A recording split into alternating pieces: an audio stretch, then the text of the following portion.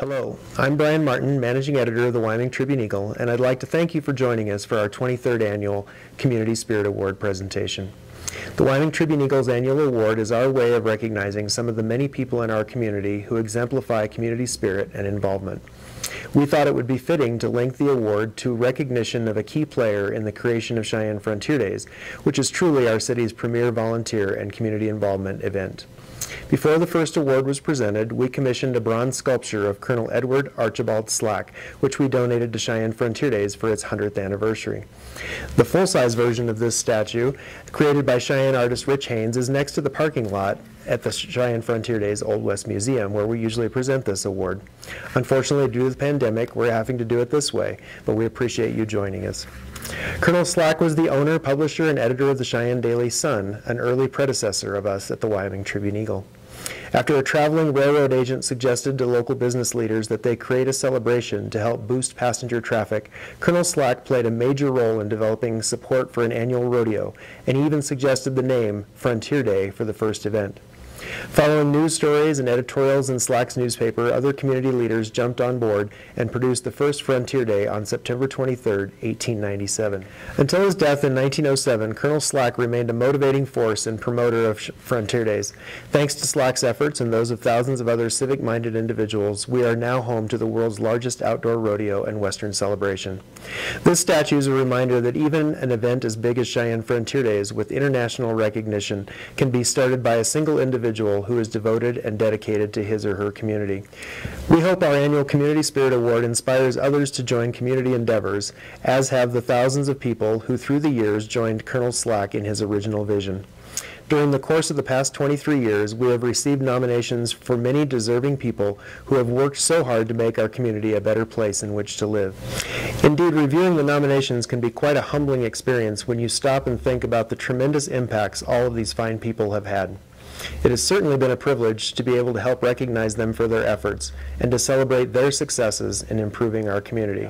This year, we are honored to be able to recognize yet another community servant, Harvey DeSelms it was incredible when when when Lachey told me. I just was, was really pretty speechless because I joined a, a, very elite club. Uh, many of the folks that have won the award before are.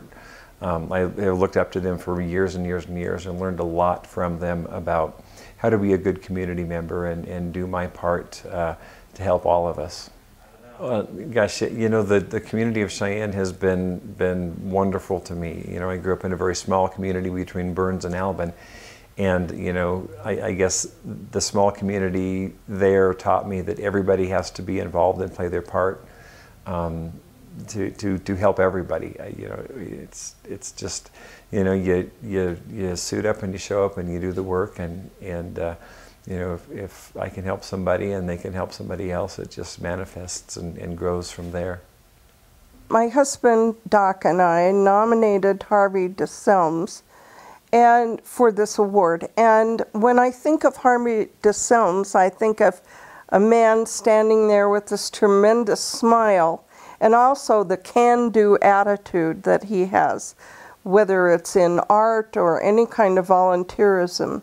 He, um, and looking at this award, I realized that he would be the perfect candidate because he not only volunteers himself, but he also recruits volunteers and gets the job done. He's done a number of bronze um, sculptures all around town, and it's because of his enthusiasm and determination to get it done that it has been completed.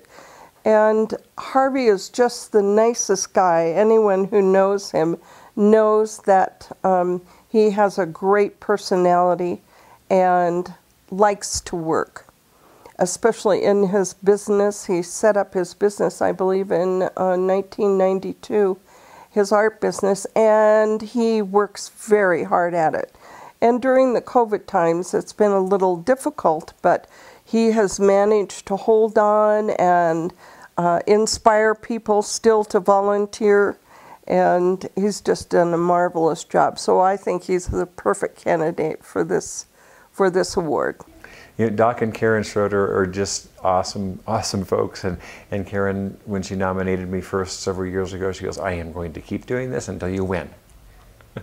they, they've been, you know, again, one of the, the, the folks, the, the many, many folks in town that, that I've looked up to, gosh, eh, they've, they've been, I've known them for, I can't tell you how many years, but it was just, it just tickled me to death that every year she would call and says, what did you do this year? What did you do this year? And, and I said, I don't know what I did. I, I don't keep track of that. But, um, but she did. And so that was wonderful. Well, I'm Doc Schrader, uh, Karen's husband. And I have to also uh, note that I support entirely what she said uh, concerning Harvey's nomination for the Community Spirit Award. We know a number of the previous winners, and we support all of the efforts that the previous winners have exerted to, to be honored uh, with this award. And we believe that Harvey was in pretty good company, uh, although he had not won the award. And so that was part of our motivation was he's doing the same kinds of things that allowed these people uh, in the community to be honored. And we felt that was a high, highly motivating factor for our nomination of him as well. Harvey and I go back quite a ways. Uh, one of the uh, areas in Cheyenne that I've been involved with quite heavily over the years, along with about 2,500 other dedicated volunteers, is Cheyenne Frontier Days. And Harvey uh, went to work for the Old West Museum uh, right following high school, and I think he was still a student out at LCCC. Uh, and the uh, Old West Museum uh, does a very large, well attended, uh, quite well known art show and sale just prior to Frontier Days each year. And Harvey was, was involved from the ground up in, in organizing and working on and setting up the displays for this art show. Well, as a Frontier Days volunteer, I was also hanging around out there during those times. And Harvey and I just got to know one another by ending up picking up a box and carrying it from point A to point B. Or he asked me if I, he, if I could give him a hand with this or that, or I could ask him if he could give me a hand. And we just developed a friendship by kind of working together uh, on the uh, art show. Uh, then it turns out we have some things in common. My wife did not mention this, but she and Harvey both are graduates of Albin High School in eastern Laramie County. So that was a point of common interest as well. But over the years, uh, we have had some interest in art, uh, and as a result, we needed some help in many areas of understanding what's available and what it meant and so on. And we began uh, visiting with Harvey not only professionally but socially as well and became uh, part of a rather large arts community here in Cheyenne, of which Harvey has been a long, strong supporter. So over the years, and, and uh, we figured that it's between 35 and 40 years that, that I have known Harvey, uh, Karen a little less than that. Uh, but we have developed a very strong um, friendship uh, that has survived a lot of ups and downs in the community and, and in the business world and in the art field. And so, uh, once again, uh, when we were looking at someone who has had a positive uh, effect on the Cheyenne community, it was easy to identify Harvey as one of those up and comers. Uh, and now, uh, one of the great old men of the uh, arts community in Cheyenne. we have always been impressed with the size of the arts community in Cheyenne, and we have a, a wide range of artists here. We have friends who are filmmakers, we have friends who are sculptors, we have friends who are uh, oil and watercolorists, and uh, we, through Harvey and through many of these collaborative uh, acquaintances we have made, uh, we have become kind of part of that arts community as well, although we are not artists. As a matter of fact, my wife at one time in her life was criticized because she didn't know how to make a stick figure.